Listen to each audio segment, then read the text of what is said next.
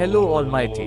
Today I am going to recap one of my favorites in a wonderful Kannada movie named Om. Directed by real star Upendra. Spoilers ahead, watch out and enjoy.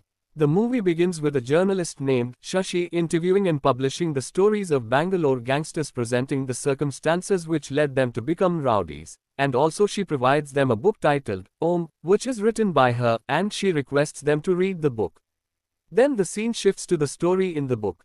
Here, Shashi, who was interviewing about the Bangalore underworld, learns about a gangster named Satyamurti Shastri, alias Satya, who has been forcing a college student named Madhuri, aka Madhu, to love him within a day, and is also he is involved in oil smuggling activities with gangster named Oil Raja during night time.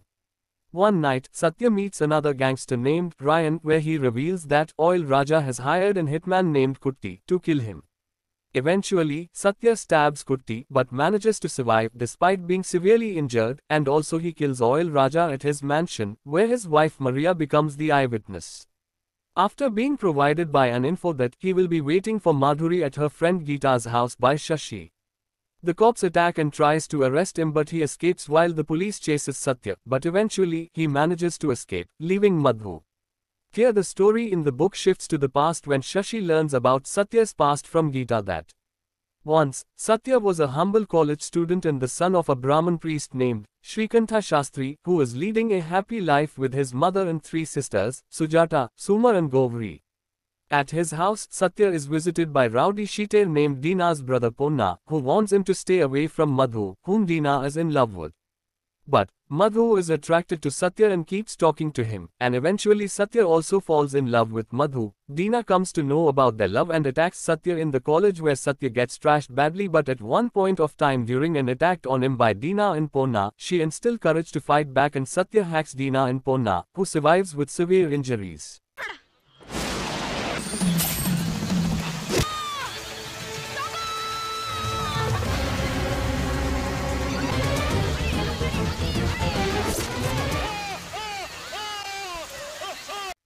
But here is the twist.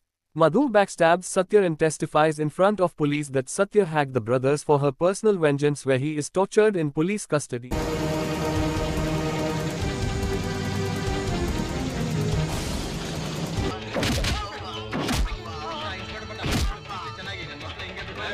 But he is granted with bail by Ponna's boss Don Jairaj. Satya visits Madhu and asks her for cheating him in the name of love, where he learns that she is his friend Harish's sister. In a past event, Satya and Harish witnessed the killing of a girl by Ponna. Ponna and his gang frames Harish for the murder and threatens Satya by blackmailing that if he doesn't testify against Harish his family will be murdered. Satya is reluctant but is forced to lie at the court that Harish is the murderer in front of his family. Distraught, Harish commits suicide in jail. Subsequently, Harish's and Madhu's mother dies from shock. Hence, Madhu planned vengeance against Ponna where she used Satya as a weapon to kill Ponna while also tarnishing Satya's life.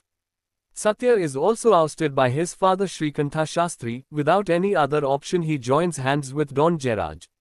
Coming back to the present, Satya takes Madhu to propose to her, but here Madhu stabs Satya and escapes.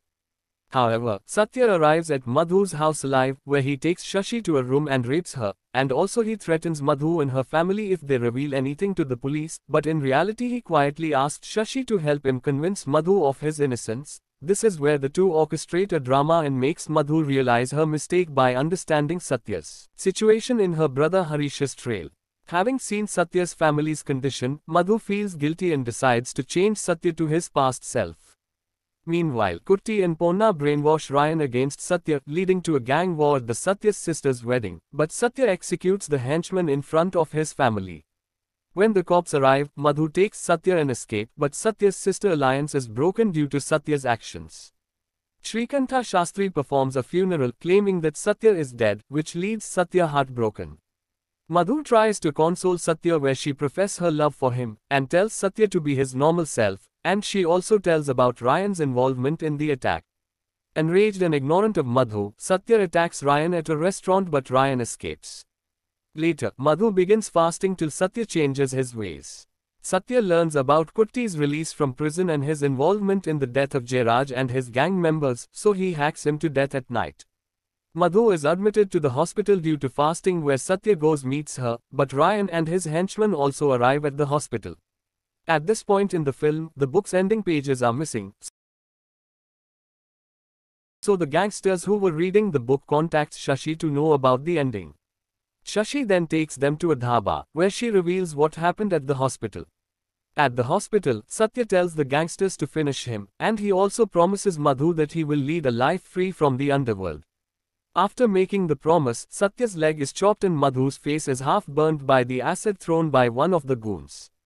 Ryan and the others realize that Satya has changed, so they leave him to start a new life. Here, it is revealed that Shashi brought to the same dhaba where Satya, who is a changed man is running the dhaba and leading a happy life along with his wife Madhu and his children. After seeing the happiness of Satya and his family, the gangsters realize their mistake and retire from the underworld to live a peaceful life with their families, where the movie ends with a message on peace.